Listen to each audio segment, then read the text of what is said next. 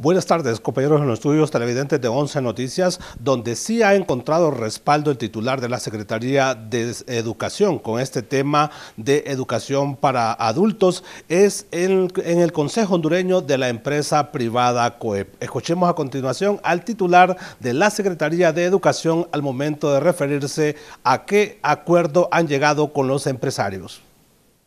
Hoy, en presencia de la Junta Directiva del COEP, se ha firmado un convenio de adhesión al programa de alfabetización por parte del COEP. Honduras, eh, la empresa privada alberga 1.300.000 empleados, de los cuales el 7% no saben leer y escribir. Eso significa entre 70 a 80 mil personas aproximadamente.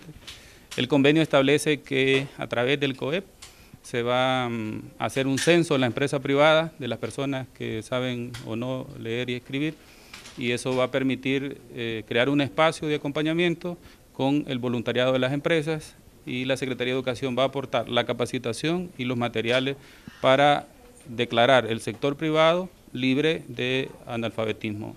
Eso como parte de un movimiento ampliado que busca la erradicación del analfabetismo en el próximo año.